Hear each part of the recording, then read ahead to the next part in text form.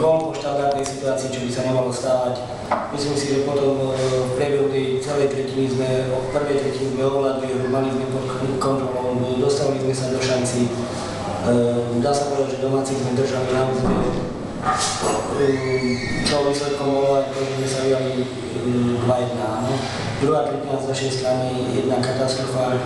Pritom e, sme chceli hrať to, čo sme si povedali, ale bohužiaľ domáci nás dostali pod tlak a naše hrubé osobné chyby a vysokotaktické chyby e, trestali. Znovu po vyčíslení žalúdkov sme sa tretej tretine dostali do hry, posledný sme mali hru pod kontrolou, zrovnali sme na 4-4. Nakoniec sme znovu dostali gol po osobnej a taktickej chybe, takže domáci si odvážajú tri body, potvrdili, že v podstate dokážu rozhodnúť zápas, majú tam šikovných hráčov.